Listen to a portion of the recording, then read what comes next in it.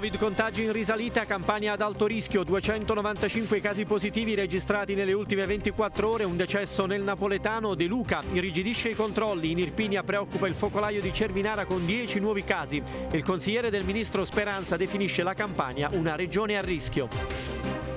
Fango a Sarno, chiesto lo stato di calamità, Ruspe ancora al lavoro per rimuovere i detriti, centinaia gli sfollati costretti a lasciare le abitazioni. Allestito un ricovero alla scuola Baccelli, ma non si sa quando potranno rientrare. Polemiche per i cantieri della manutenzione mai partiti. Il dramma di Monteforte focus sulla speculazione. È pesante il bilancio dei danni del maltempo nel comune della Velinese. Dalla montagna è venuto giù un fiume di fango che ha completamente devastato il centro storico. Anche il prefetto accusa bisogna interrogarsi sull'abusivismo edilizio. La nuova giunta De Luca, Irpinia dimenticata, 10 assessori, molte riconferme, 4 nuovi ingressi. Tra le novità l'ex prefetto Mario Morcone, assessore alla sicurezza. Dal PD entra Armida Filippelli, vice segretaria regionale Dem. De Luca tiene per sé la delega alla sanità. Due Sanniti, ma nessun Irpino. Galleria Vittoria chiusa, Napoli è divisa in due. La decisione è stata adottata dalla Procura di Napoli per motivi di sicurezza dopo i crolli della settimana scorsa. Gravi ripercussioni sul traffico, il comune alla fine è stato costretto a cedere. Riaperto il lungomare alle auto. Centro migranti, tensioni per i positivi a Benevento. Sono cinque gli extracomunitari ospitati in un centro di accoglienza nel cuore della città, risultati affetti dal Covid-19. Ieri l'ennesima lite, avviato d'urgenza il trasferimento dei positivi in un centro protetto in provincia. Don Nicola De Blasio, sbagliato, criminalizzarli. Buonasera, eccoci in diretta anche su Facebook con 8 Channel News. In apertura il Covid, 295 i casi registrati oggi in Campania, un decesso nel napoletano De Luca, irrigidisce i controlli, test rapidi all'aeroporto per chi viene dall'estero, in Irpinia preoccupa il focolaio in Valle Caudina con 10 nuovi casi e intanto il consigliere del ministro Speranza definisce la Campania regione a rischio. Sentiamo. Nuovo record di casi in Campania con un nuovo bollettino che informa di 295 casi in un solo giorno e anche un nuovo decesso. Numeri che di certo non portano tranquillità. La città di Napoli con la sua provincia restano le zone maggiormente colpite dall'epidemia. Il presidente De Luca, che ha già irrigidito le misure di contenimento del virus rendendo obbligatorio l'uso delle mascherine anche al di giorno e all'aperto, ha istituito i controlli all'aeroporto per chi arriva dalle zone a rischio tamponi rapidi a chi fa ingresso a Capodichino dall'estero. Intanto il professore ordinario di igiene dell'Università Cattolica e consigliere del ministro della Salute Roberto Speranza sul coronavirus è pessimista sull'evoluzione dei casi, anche in Campania che definisce regione a rischio. La Francia avrà bisogno del lockdown totale, noi no se ci comportiamo bene, ma Lazio e Campania sono a rischio, afferma in un'intervista al quotidiano La Stampa. Tra due settimane, quando si potrà aggiornare il quadro, mi aspetto un peggioramento della situazione, spero non intenso, con più pressione sugli ospedali, anche per l'arrivo di raffreddore e influenze. Per questo è importante il richiamo alle precauzioni e il vaccino antinfluenzale per tutte le età. In Irpinia preoccupa la situazione di Cervinara con altri 10 contagi contagiati nella Valle Caudina, in tutto sono 59 i casi registrati, 42 solo a Cervinara. Dall'inizio di questa seconda ondata in Irpinia ci sono stati 276 contagiati.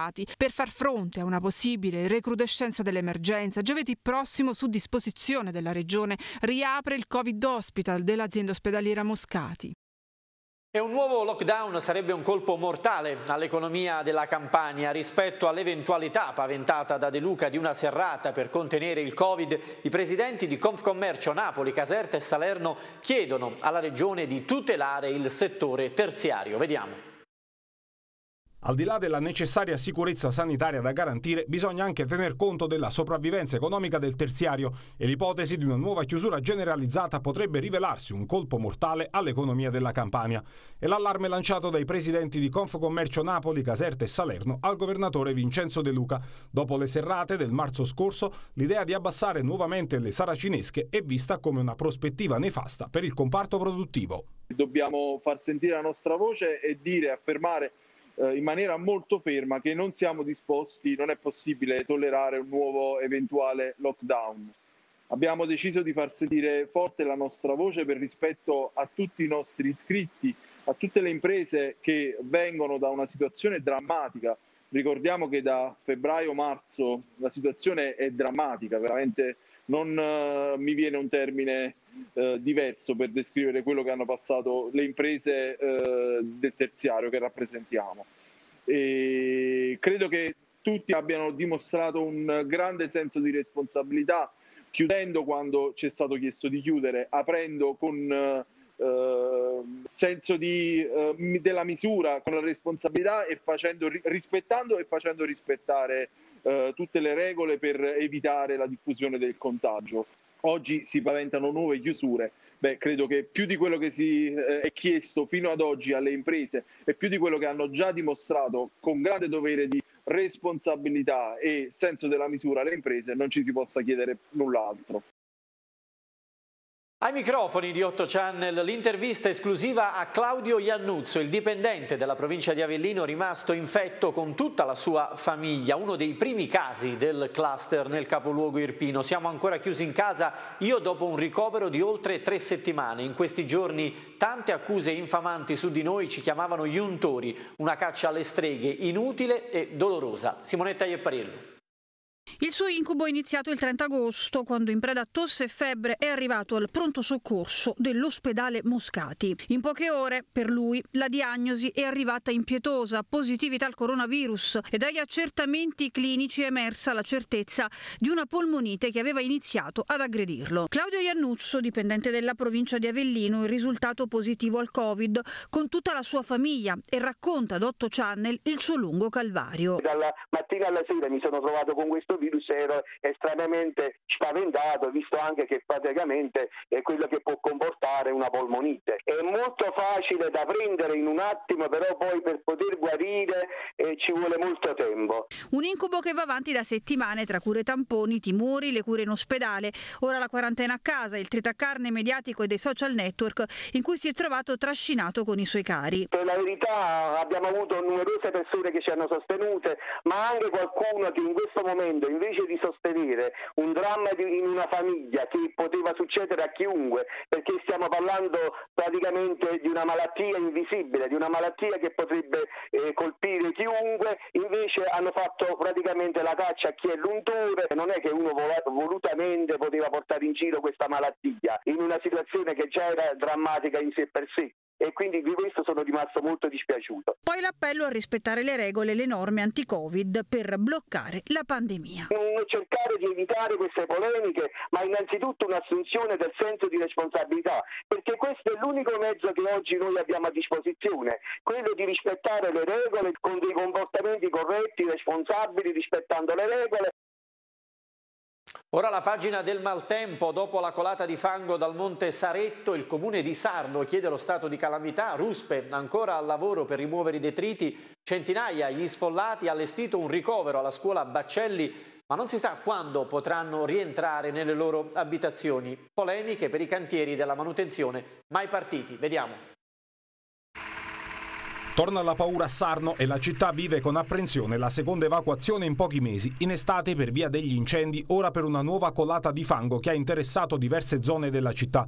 Corso Umberto, via Bracigliano, l'area di San Sebastiano sono i luoghi in cui la comunità dell'Agro ha rivisto le stesse tragiche scene del 1998, con un fiume di detriti staccatisi dalla montagna che è entrato nelle case e nei negozi devastando tutto.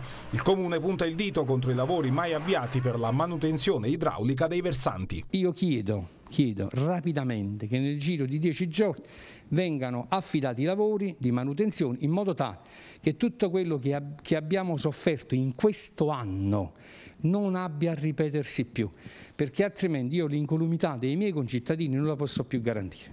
Il sindaco Giuseppe Canfora ha chiesto lo stato di calamità e chiuso le scuole anche martedì. In tutta la zona si continua a scavare mentre ad 8 Channel 696 i residenti raccontano quei minuti da incubo. Una paura indescrivibile, forse non si dimenticherà uh, per adesso. Visto praticamente il fiume di fango entrare in casa? Sì, sì, sì, mamma mia, è indescrivibile avere che le pietre, materasse, secchi la spazzatura non si capisce niente. I figli miei, gente anziana, hanno avuto paura perché? Uai non ne ho, non ne ho qua, uai sta là, non sta in mezzo a via, che sono preti, chiave di voi. Centinaia di persone sfollate, attivata la macchina dei soccorsi e dell'assistenza, ma ora la priorità è mettere in sicurezza il territorio, liberando vasche e canali pieni di fango, detriti e rocce. I momenti sono stati drammatici. Spero solo che al più presto possiamo dare la possibilità a queste persone di ritornare nelle proprie abitazioni, in sicurezza però, in sicurezza. Le persone diciamo, eh, purtroppo erano, alcune non volevano lasciare la, la, propria abitazione, abbiamo dovuto chiedere anche in alcuni casi l'aiuto delle forze dell'ordine, però è stato veramente difficile. Dal Salernitano all'Irpinia il dramma di Monteforte. È pesante il bilancio dei danni del maltempo nel comune della Velinese. Dalla montagna è venuto giù un fiume di fango che ha completamente devastato il centro storico. Anche il prefetto Paola Spena accusa bisogna interrogarsi sull'abusivismo edilizio. Vediamo. Non ce la fa!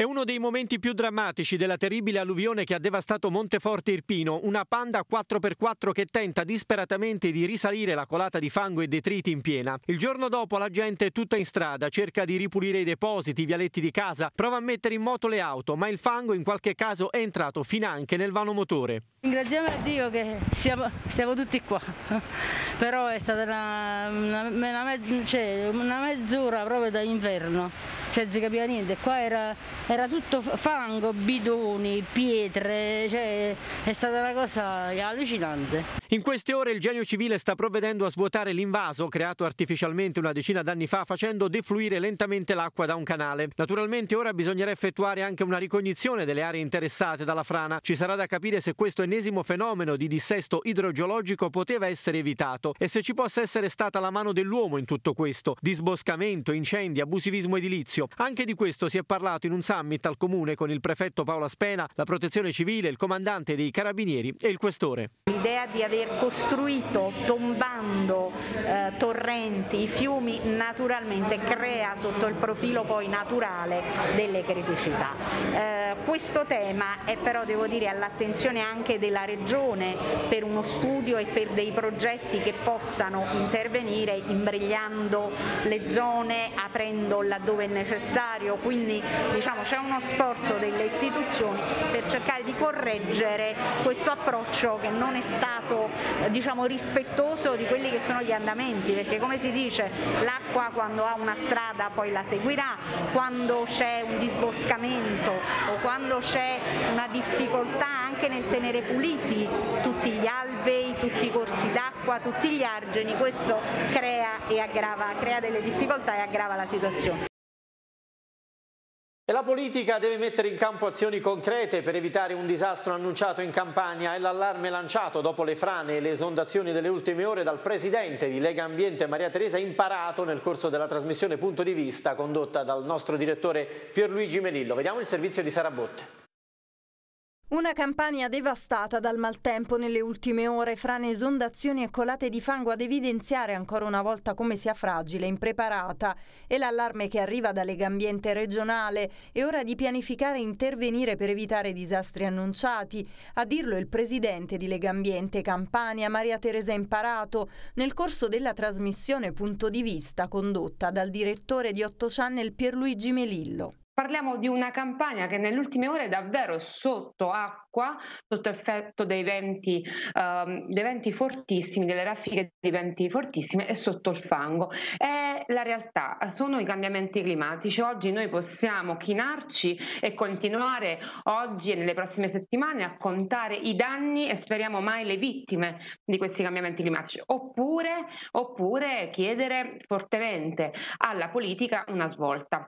Era, doveva essere proprio il 2020 l'anno della svolta, quello del piano nazionale per resistere al clima, ma chiaramente ci sono state altre emergenze, voi la pandemia globale. Dall'altra parte però non possiamo aspettare la fine della pandemia globale per invece metterci a lavorare su quella che è l'altra emergenza globale. Sarno chiaramente l'emblema di, di, come la fragilità del territorio sia ancora, uh, sia ancora puntuale attuale qui e, e, e manca ancora gli, uh, che, quelle che devono essere le politiche di prevenzione.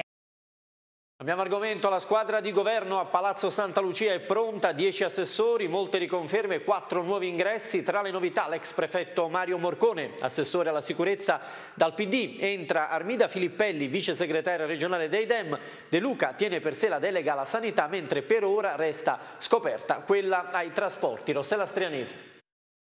Il presidente Vincenzo De Luca ha annunciato la composizione della giunta regionale che lo affiancherà nei prossimi cinque anni. Dieci gli assessori, quattro le new entry. Tra i confermati il vicepresidente Fulvio Bonavitacola che mantiene la delega all'ambiente ed Ettore Cinque già assessore al bilancio. Restano in giunta anche Antonio Marchiello vicino all'area di fare democratico di Demita che continuerà a seguire le attività produttive con l'aggiunta della delega al lavoro. Conferma anche per Bruno Discepolo all'urbanistica. Restano nell'esecutivo anche due donne. La prima è Lucia Fortini, alla scuola. Eletta consigliere con la lista De Luca Presidente, probabilmente si dimetterà dal Consiglio lasciando quindi il posto a Diego Venanzoni, primo dei non eletti della sua lista. L'altra donna riconfermata è Valeria Fascione, sempre alla ricerca e internazionalizzazione. Tra le novità spicca il nome di Mario Morcone, l'ex prefetto di area PD, già candidato sindaco a Napoli, oggi assessore alle politiche della sicurezza. Sempre dal PD arriva Armida Filippelli, con delega alla formazione professionale, dirigente scolastica e vice segretaria regionale del PD dopo essere stata sconfitta dall'attuale segretario Annunziata nelle primarie per la guida del partito. Dentro anche Nicola Caputo, esponente di Italia Viva, con la delega all'agricoltura Agricoltura, ex europarlamentare, aveva già ricoperto il ruolo di consigliere per l'agricoltura del presidente De Luca. Infine c'è il professore Felice Casucci alla semplificazione amministrativa e al turismo. Ha contribuito alla rielezione di De Luca con la lista Noi Campani di Clemente Mastella. Il presidente tiene per sé la delega alla sanità.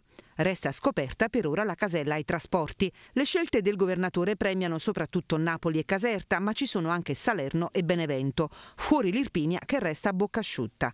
Il presidente De Luca ha inteso dare continuità al suo esecutivo, è una scelta legittima e per certi versi comprensibile, ha dichiarato il consigliere del PD Irpino Maurizio Petracca. E sono due i neoassessori regionali legati al territorio sannita, si tratta di Felice Casucci, docente dell'Università del Sagno, e Armida Filippelli, originaria di Guardia San Framondi, che ad 8 Channel conferma il suo legame con il Sannio. Sentiamo in Matedisco.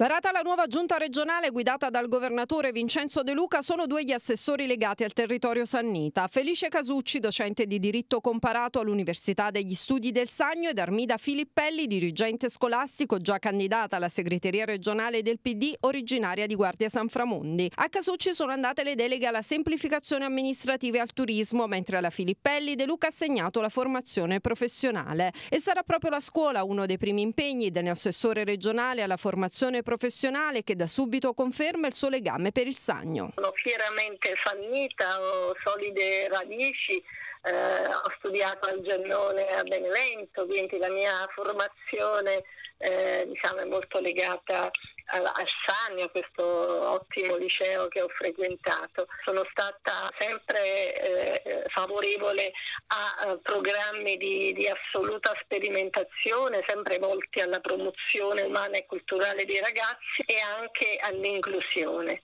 perché eh, dobbiamo uh, avere uno sguardo speciale per la scuola. Attenzione dunque alla scuola ed ai giovani. Solo con, sulla scuola noi possiamo uh, superare le disuguaglianze e poi eh, affiancare i ragazzi, seguirli nei percorsi di formazione professionale assolutamente perché questo è fondamentale soprattutto per acquisire competenze perché noi dobbiamo curare le competenze dei ragazzi perché possano essere competitivi.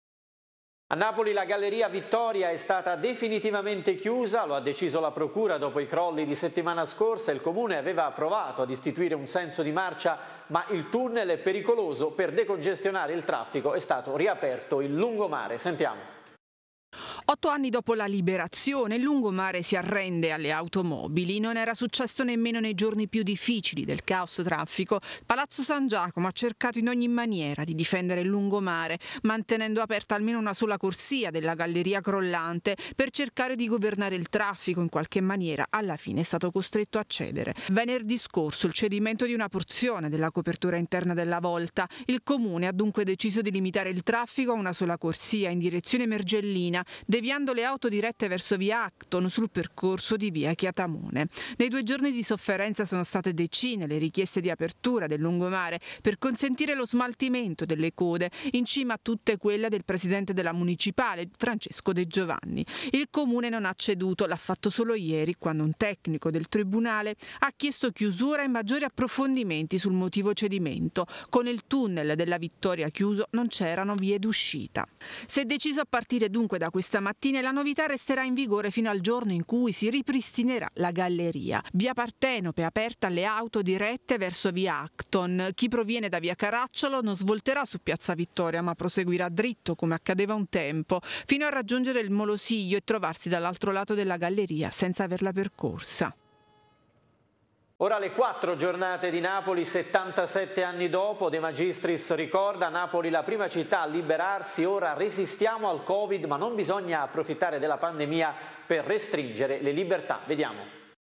Parla di resistenza e Covid il sindaco di Napoli Luigi De Magistris in occasione delle celebrazioni per ricordare le quattro giornate della città che 77 anni fa portarono alla cacciata degli invasori nazisti dal capoluogo campano. Napoli che è stata la prima città d'Europa con una rivolta di popolo a liberarsi dall'occupazione nazifascista. Per i 77 anni della liberazione, corone d'alloro depositate al mausoleo di Posillipo, alla Camera di Commercio e a Piazza Carità. A ricordare che nelle nostre radici ci sono i valori dell'antifascismo, della libertà, dell'uguaglianza e della giustizia per lottare per i diritti ora e nel futuro. Napoli sempre antifascista. Bisogna provare a far convivere diritti diversi, spiega il sindaco De Magistris, che dice non bisogna approfittare della pandemia per restringere le libertà. Questa è una pandemia sanitaria che non deve però provocare una pandemia delle libertà.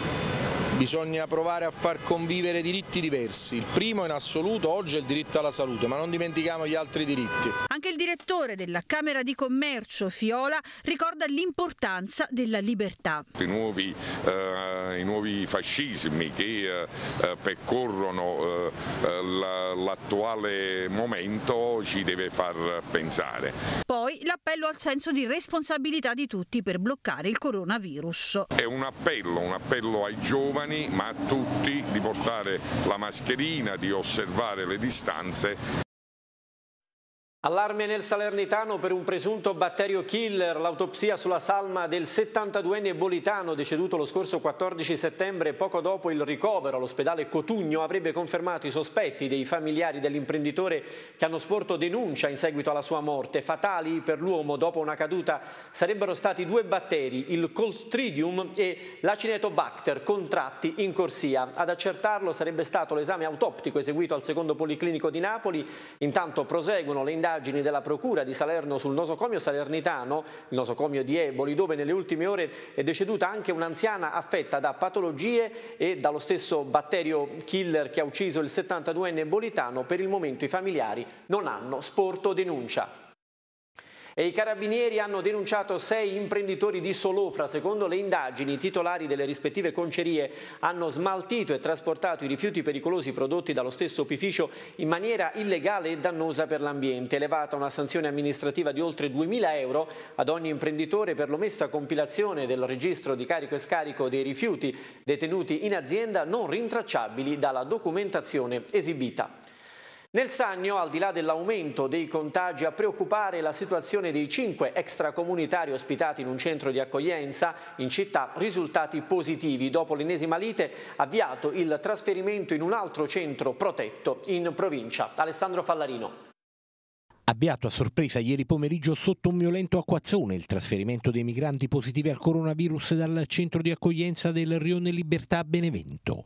Una decisione presa all'improvviso dopo che sabato il trasferimento era stato rinviato invece a questa mattina. Decisione arrivata in seguito all'ennesima furibonda lite scoppiata all'interno del palazzo completamente dedicato all'accoglienza degli extracomunitari. Cinque allo stato i migranti positivi, oltre che ad una sesta persona, gestore del centro. L'allarme ieri pomeriggio pomeriggio, quando le forze dell'ordine presenti all'esterno per impedire l'uscita dei migranti in quarantena hanno sentito delle urla. Una situazione incandescente che ha portato la prefettura di Benevento a disporre l'immediato trasferimento. Sulla vicenda la Caritas chiede che vengano tutelati i diritti e fare in modo che queste persone non ozino all'interno delle strutture.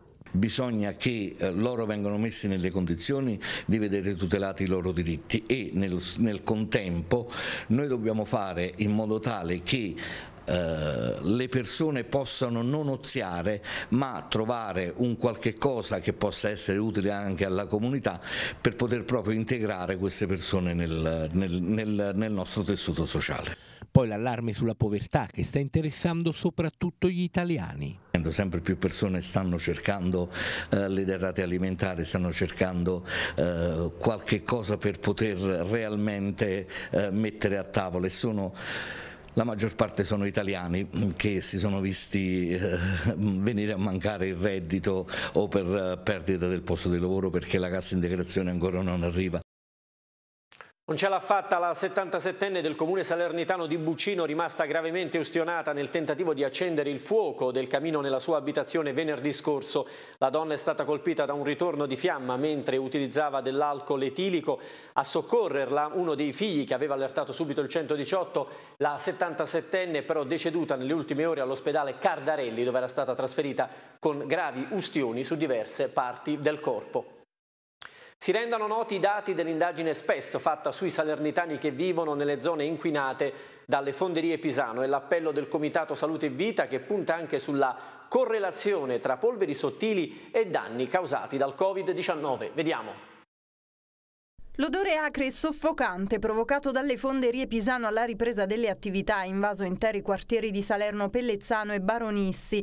È l'ennesima denuncia che arriva dal Comitato e Associazione Salute e Vita, che si appella al governatore Vincenzo De Luca ricordando anche il ruolo delle polveri sottili nella diffusione del Covid-19. Proprio alla luce di ciò il Comitato Ambientalista esige la pubblicazione dello studio SPES sulla presenza di metalli pesanti nel sangue dei residenti e la chiusura delle fonderie.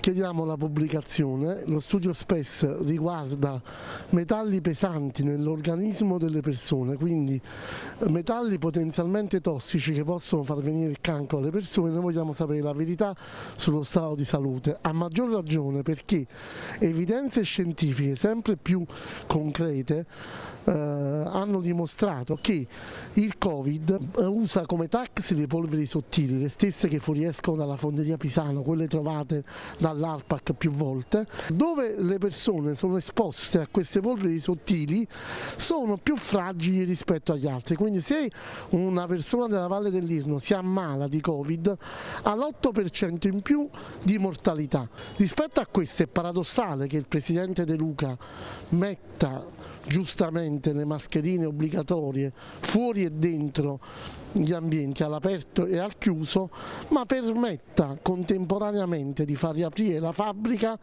delle fonderie Pisano che da venerdì, come anche oggi, stanno di nuovo riportando all'inferno la popolazione.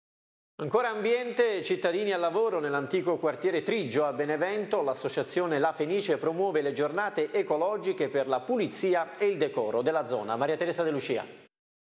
Continua l'impegno dell'Associazione La Fenice per il centro storico di Benevento. Tornano in campo i cittadini della zona per riqualificare alcune strade del Trigio, l'antico quartiere medievale di Benevento che pian piano è tornato a ripopolarsi.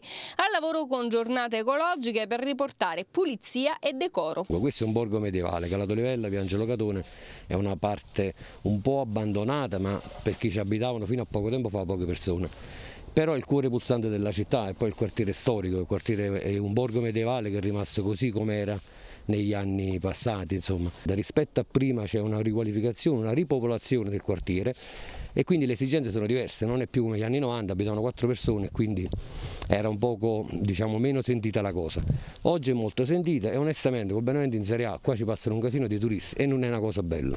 Un impegno che è anche socializzazione ed educazione. Noi riusciamo a fare il nostro piccolo contributo e a inculcare nella mente dei bambini, i nostri figli, il rispetto del suolo pubblico, il rispetto delle cose pubbliche, dell'archeologia, dello stato del nostro, della nostra storia che non è poco insomma a prescindere abbiamo tanto da poter mettere in mostra a tutti quanti coloro che verranno a vederlo. Necessario però un ulteriore sostegno anche per altre aree del quartiere.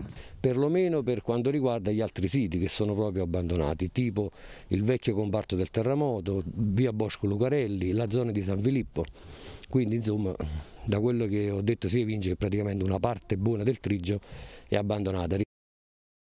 È tutto per stasera, grazie in regia a Michele Urciuolo, ora ci sono le previsioni del tempo, vi auguro una buona serata, arrivederci.